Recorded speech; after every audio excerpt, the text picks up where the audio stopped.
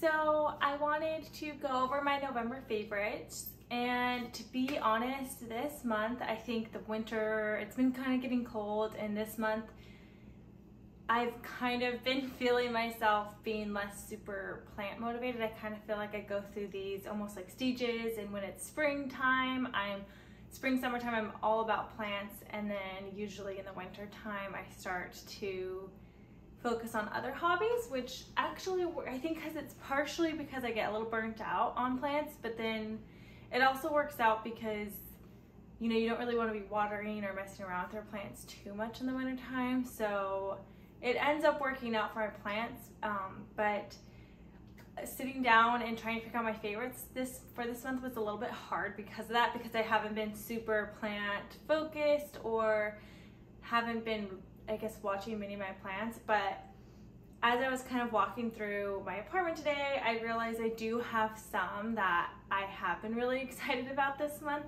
So I'm gonna go ahead and get started and I'm gonna start smallest, biggest like I normally do.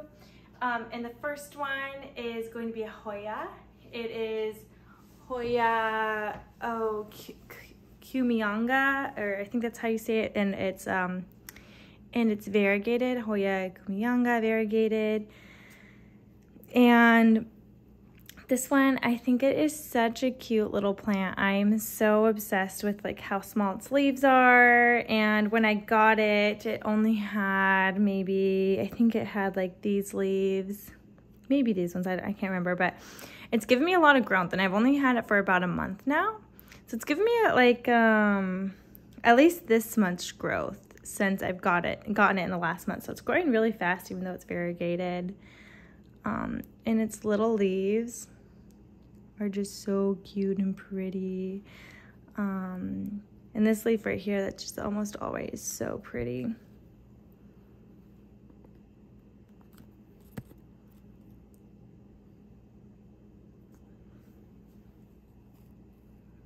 But yeah, I'm really I'm excited to have, um, I think I am going to take cuttings of this and, um, you know, put it, pot it back in here to get, make a more full pot. But like, it's also crazy too, cause it's going, um, you know, it's sticking straight up. It's not like really leaning too much one way or not one way or the other. Like it doesn't seem like it's gonna hang very easily.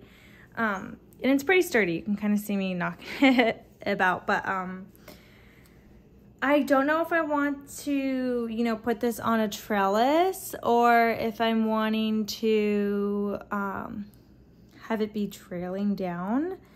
Um, I haven't decided yet.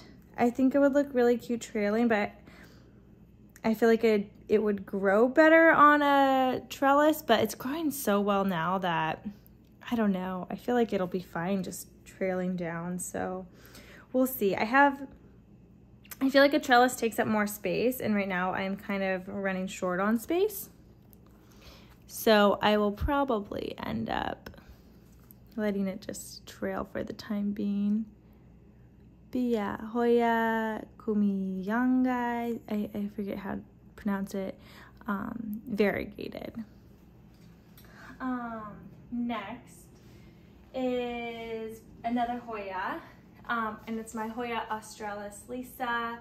And this one is all my favorites because I finally, it had, if you watched my Frankenplants video, you would have seen that this plant had, um, actually let me get a light because I feel like, is the lighting okay? I guess the lighting's okay. Um, I, this plant had, um,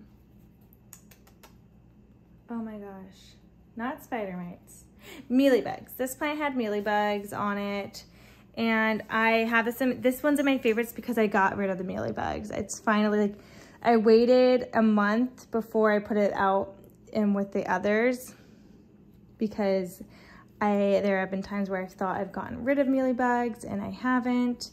Um, so I, I haven't seen mealybugs on it for a month now, so I put it back out in the open. So it's been, now it's probably been like seven weeks I haven't seen mealybugs on it. So, I mean, I think this is a beautiful, beautiful plant. Um, but the reason why it is in my favorites for this month is mainly just because I did get rid of the pests. But yeah, look at these leaves. Ooh, these leaves are so pretty.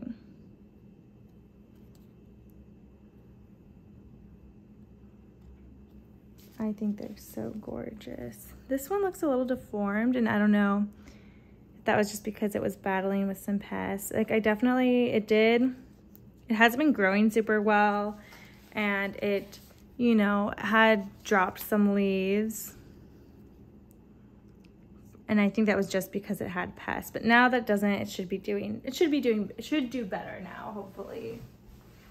But yeah, my Hoya Australis Lisa.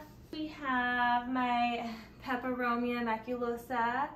And if you can see, it has three new leaves on the way. Um, so I have heard this guy takes a while to um, get some new growth. And I can't I don't know how long it's been since I got him from Ecuagenera. I'll put it uh, down. But yeah, we got three leaves coming out.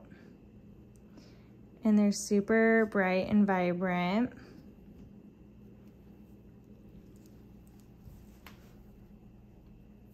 And yeah, I'm just, I'm shocked that three came out at the same time. And um, here's a look at a regular leaf, just for reference, on how dark it is. So it is pretty striking to see how uh, light limey green these uh, are coming out.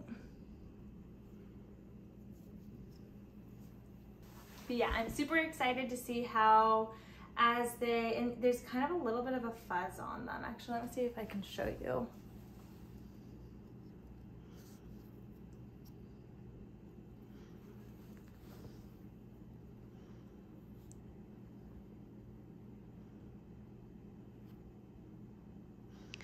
I don't know if I'm going to be able to capture the fuzziness or not, but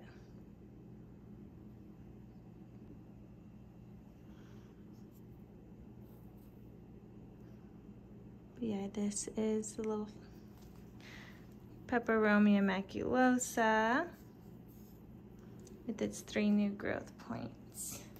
And next up on my favorites is um, is another peperomia, and it's I forget the name, but it's like beetle. I think people I think people call it the beetle peperomia or beetle leaf peperomia. But I had this guy like hanging in a hanging basket, kind of just like on the side. So he kind of just like hangs off like this.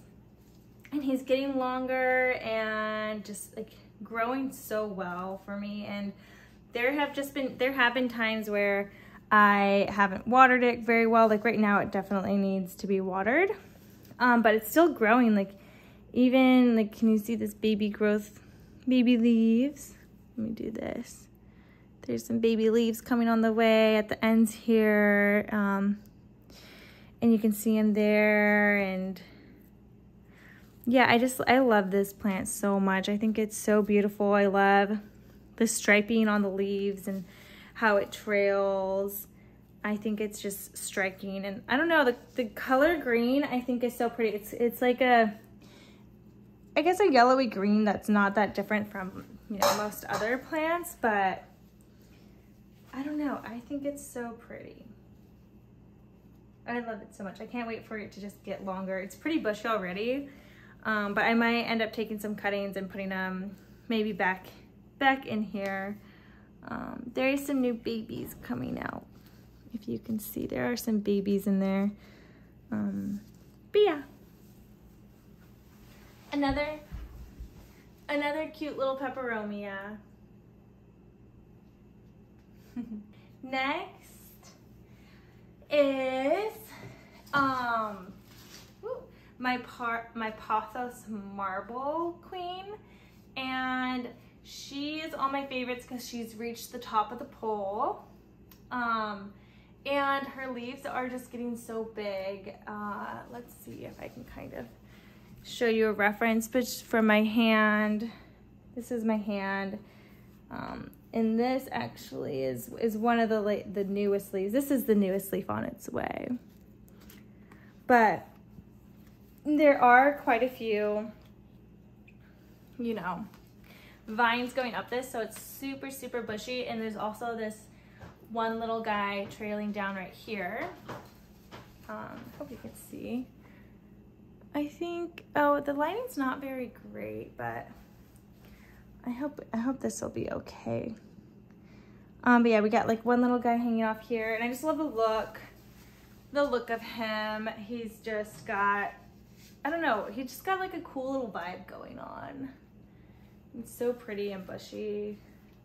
Um, and some of the leaves on the back are definitely more like marble, like kind of snow queen vibes. Um, but and this vine that's trailing down is kind of reverting just to be green, but I'm okay with the variety. I think the variety helps like with the contrast of all the colors and adds to it.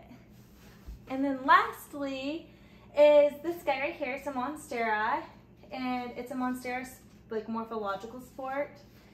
So um, there are, let's see, right here, if you can see, there's like this sectoral wrinkly part of my Monstera. Hope there, like right here. It's like this sectoral wrinkly area. And from here, it gave me like, which leaf did it give me? It gave me, ooh, it gave me this leaf, which doesn't have any of that sectoral wrinkled. It is, is like more textured and wrinkly than I would say a normal monstera, but there's no like sections. And then from that one, it gave me this, which is